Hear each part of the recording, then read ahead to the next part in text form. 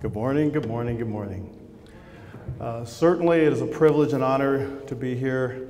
I always consider it a privilege and honor anytime I'm given the opportunity to be uh, with members of the body of Christ. Um, I would first like to, again, say to you that I wouldn't be here this morning if it wasn't for my dear friend, uh, Dr. David Barnes.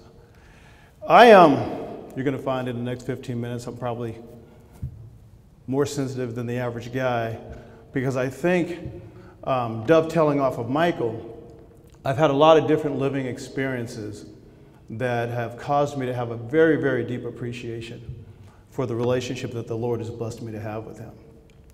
I grew up on a military base. Um, I'm from Southern California. My father was in the Marine Corps and served 30 years there, and my mother worked for the state of California. And so in my family, I, I, I, learned two different key principles I believe that you have to have to be successful in life. My father was a strong disciplinarian, but my mother knew how to nurture us and love on us. And, and I think the combination of both those relationships have become a part of my DNA. The scripture that, that comes to my mind that I'd like to share this morning is, is Isaiah 44 and 2.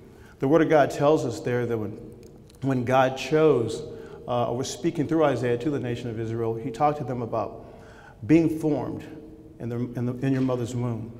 And after being formed, we're chosen.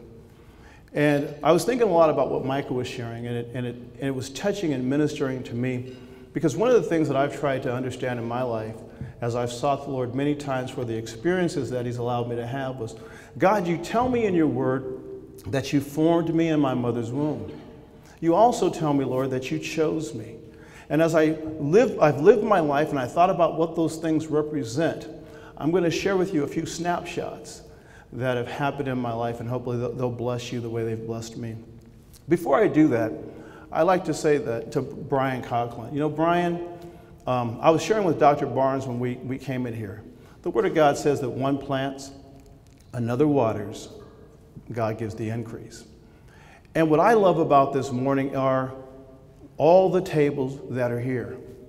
Because I believe by faith that in the near future, this place will be overflowing. It's going to be overflowing with the presence and the Spirit of God and the testimony that's going to come out of this room. I believe that that's a part of what my mother and father birthed in me as well.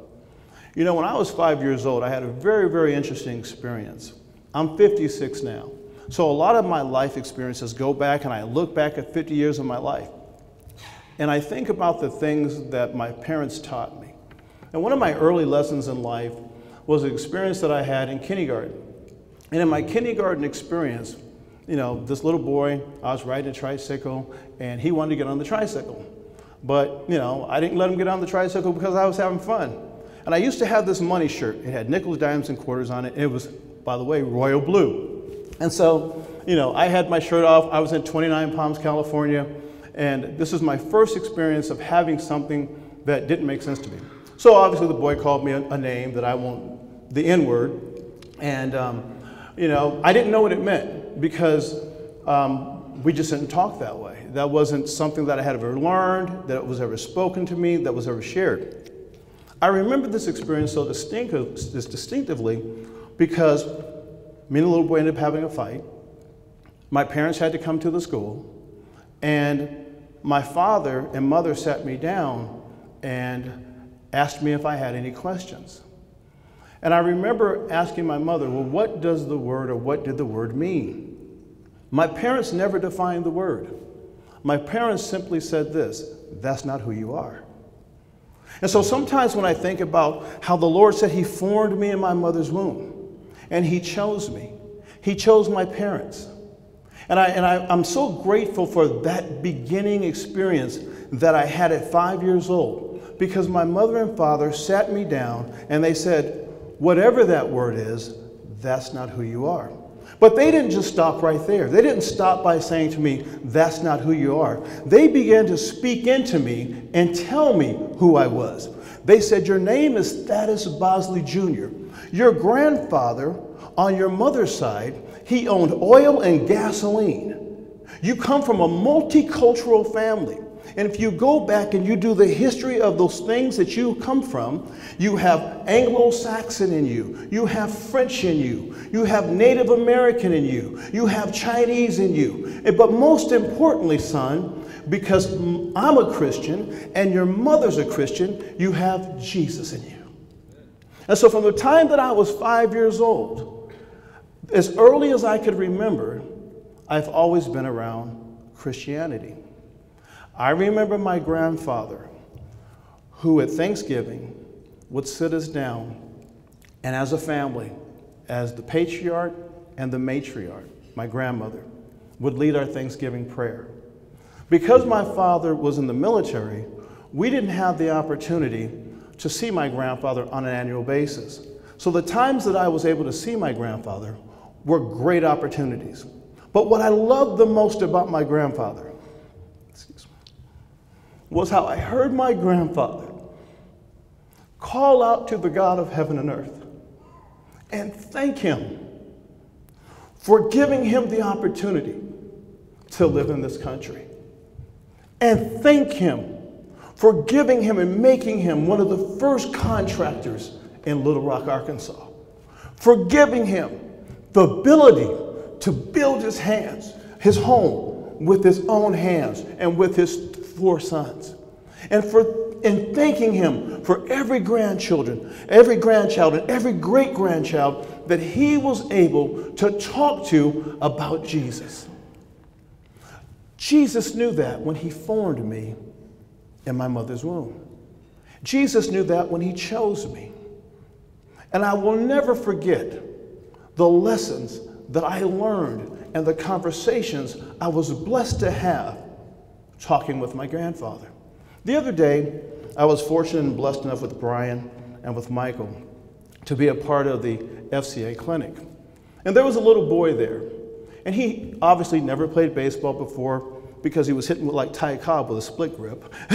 Not that Ty Cobb, who was one of the greatest players that ever lived, didn't know what a split grip was. But this young man didn't know what a split grip was. His hands were separated. He didn't know where to hold his hands. He didn't know how to stand. And all the other kids in his group were very good baseball players. And his countenance was beginning to fall, and he was becoming disgruntled, and you could see he just didn't want to participate anymore. And so I put my arms around him, and I said to him, You're going to be a very, very good baseball player one day. Never give up, and always keep your chin up, and put a smile on your face. I learned that at five years old when my father taught me in my kindergarten experience how to handle a situation.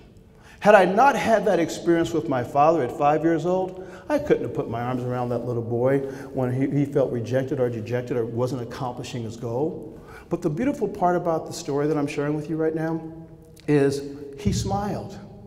And before the day was over, we played a game. And when he had his time to at bat, he got a hit. And he was running down first base and he was having a beautiful moment. Well, you know, as Christians, sometimes that happens for us. We'll have experiences in our lives where we just don't know how to hold the bat. We just don't know how to get the grip.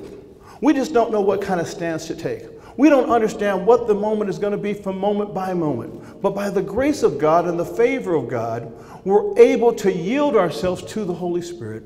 And then God enables us to have a living experience that blesses us and causes us to be a blessing to others. One of the things that I love so much about this morning is what FCA stands, stands for. And it stands for, for me, the fellowship. I remember when I was drafted out of high school. And in 1975, I was drafted in 1974, but in 1975, I was going to spring training and I was going to A ball. And we were driving to uh, Davenport, Iowa. I had just filled the car up and put gas in it and was coming onto the on ramp, and for some reason the car hydroplaned. And I end up rolling a 240Z four times. My head landed outside of the driver's side window. Before I filled the car up with gas because it was freezing cold, I had a thermal sweatshirt on and I tied it up around my neck. And didn't finally, you know, thought that was kind of odd that I didn't take it off when I got back in the car. But the Lord knew, the same God that formed me in my mother's womb, The same God that has chosen me to stand before you today knew that I was going to have that living experience. Long story short, I end up having a broken neck in three places. I cracked my third, fifth, and seventh vertebra. And I don't know it. I go to sleep. I get up the next day. I carry luggage. The California Angels, who drafted me out of high school, sent out an APB. We get to Salt Lake City. They say, Thad, is, you know, is there anything that you feel? Are you okay? My friend Steve Brisbane, who was in the car with me, he's fine, but I can't move my neck. They take me to the doctor. I get x rayed. We go back to the ballpark, and I'm sitting there, and four players and the uh, trainer rush me and say, Don't move. They lift me up, they put me on one of those slabs, the ambulance comes, and they rush me to the hospital. The doctor comes in and he says to me, I don't understand how you're walking. I don't even understand how you have any mobility. And I'm saying, Doctor, what are you talking about? He said, Well, when you crack your third, fifth, and seventh vertebra, you're not supposed to have any type of movements in your arms, and usually you end up becoming a paraplegic or quadriplegic based on the extent that we see in the x rays of your injury. And we're going to cast you up. And eight weeks from now, we'll kind of come back and reevaluate you. But I want to tell you right here and now, you're going to have to do something different. And with simple childlike faith, that looking back in retrospect, I didn't know what the Lord was saying through me. I said, Doctor, I don't believe that that's God's will for my life. Five weeks later, I go in for an eval. And so they x ray me, and they don't find anything. The doctor says there must be something wrong. X ray him again. Long story short, they x ray me over and over again. They can't find anything because my mother went, cried out to God, stood before our congregation, and the Lord healed me. I know, but for the grace of God, I don't stand here today. I don't. I don't play 14 major league seasons. I don't do that. I don't have those experiences that I could share with my two sons. I was so blessed by Michael's testimony because I prayed the whole time saying, Lord, what are you going to give me to share? And he kept saying, talk about living in the moment and how important living in the moment is. And that has been the central theme of my life after my accident. Each day I wake up, I thank God with all of my heart for the opportunity to breathe the breath of life. Because each moment, we don't know, moment by moment, whose life you can affect. I remember being 20 years old, and Nolan Ryan was on the mound on June 29th, 1977. That was my first game in the major leagues. Andy Etchebarren was catching.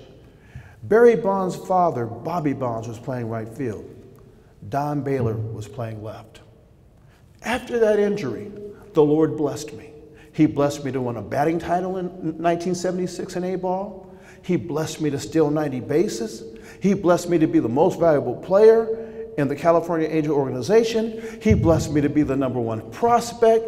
He blessed me to be one of the only players in Major League history to get a two year Major League contract coming out of A ball. He blessed me to play with some of the greatest men in the history of baseball. He blessed me to have Frank Robinson, Larry Doby Sr., I'm talking to the baseball people in the room, Harvey Kuenn, Vada Pinson, Orlando Cepeda, and Billy Williams as hitting coaches.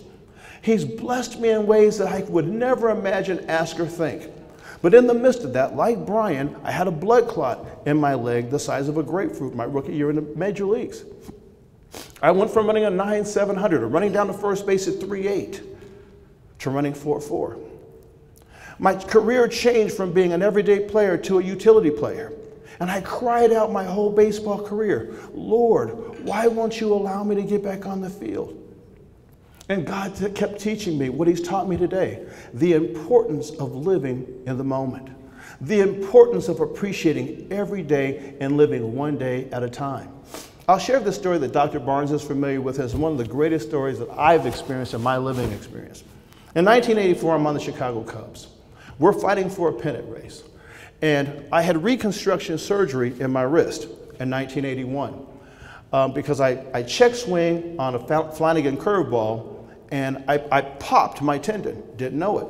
For a year and a half, because my father was a drill instructor in special forces, he always talked to us about a high, having a high tolerance of pain. So I'm playing for a year and a half, and I've got a tendon going up my elbow, and every time I comb my hair, I have excruciating pain, but I keep hearing my father in the back of my head saying, Come on, son, you can do it. Come on, son, you can do it. And even though my dad wasn't there. So finally, a year and a half later, I can't take the pain anymore. And so, you know, I go to the trainer and I go, listen, I can't take this pain anymore. We've got to do something. They go in and do an exploratory surgery and they find out that the tendon is going up my elbow. So they take the tendon out of my fourth toe, reconstruct my wrist, and it, gives, it, it extends my career. So now I'm on the Cubs in 1984. We're fighting for a playoff spot, and we, we play a series before that in San Francisco. I slide into third base on a triple, and oh, by the way, pow, there goes my wrist. Now, this is during the time that I'm leading the National League in pinch hits.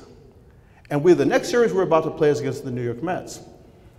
So we're playing the Cincinnati Reds on a Sunday, and Jim Frey never hits me before the seventh inning because, you know, I'm the last guy that's going to pinch hit. So he thinks, okay, I'm going to save that. He's going to help us, you know, and you know, you know how that works in baseball, the baseball people in the room. So here's the long story short. I go to chapel that Sunday morning and I'm disgruntled. For seven years in my major league career, I can't get back on the field. And no matter what I'm trying to do, I can't get on the field. I can go two for four. I can hit two home runs in the, in the seats. I can have five ribbies. I can throw someone out, but I can't get on the field every day. And I'm so frustrated that honestly, I'm thinking about quitting. I'm crying out to God. I pack my suitcases and go, you know what, Lord? It must be your will for me to leave. So now I want to play God. And so what ends up happening is that um, I go to chapel, and the gentleman who's leading the chapel says, There's two things that will always change your life. And I'll close with this the books you read and the people you meet. And he kept repeating that the books you read and the people you meet. And so after chapel, I go to find the pastor. And I said, Pastor, can I please talk to you? I said, I'm really struggling. And my baseball career and my life hasn't gone the way that I wanted it to go. And I feel like I don't know what to do. I don't know my next step. And he said, exactly like the Lord led me this morning, that I want to say this to you. You have to learn how to live in the moment. And it's always going to be the books you read and the people you meet. Well, I go up to, we're in the ball game, the sixth inning, we're losing. Pete Rose is the manager of the Cincinnati Reds. He brings Jeff Russell out in the sixth inning. Jim Frey sees that. He changes our pitcher, and he goes, Boz, get a bat. Now, in batting practice that day, I didn't take any swings. I told the trainer, please, man, I, don't, I can't hit today. Don't tell, you know, we called him Preacher Man, Jim Frey said, don't tell the Preacher Man. Because every time we, we were losing during that season, he'd come out and preach like a 15 minute service to, sermon to us before the game started. So I said, please don't tell Preacher Man, because, you know, I, I, I can't hit today. Well, he didn't tell him that. It's the sixth inning. We have two runners on. Jeff Russell comes out throwing 93 95. Now I've got to go up there and try to hit this guy. And this is how God will get you out of yourself. So here's what happens I get to the on deck circle. I don't swing. I can't swing. I, I take my, I'm a left-handed hitter, so I take my right hand, you know, I'm, I'm trying to take all the time, put my bat in gloves. I'm trying to be as slow as I can. And I walk up to the plate, and usually when I walk up to the plate, I would bow my head and say, in Jesus' name. And so I get in the batter's box, and I'm standing there, and I say another prayer. Lord, please help me. First pitch, 93 miles an hour, inside part of the fastball, ball one. I step out the batter's box, and I go, in Jesus' name. And then I step into the batter's box and I feel this nice, calm feeling. Everything in the stadium goes away. I don't hear anything. Here comes Jess Ru- Russell again. 93 95. And the next thing I know, my bat goes through the hitting area. But before my bat goes through the hitting area, I feel this little touch on my shoulder. Now, this is a true living experience that I've had. When I look up, the ball's going into the second deck. I can't even feel myself.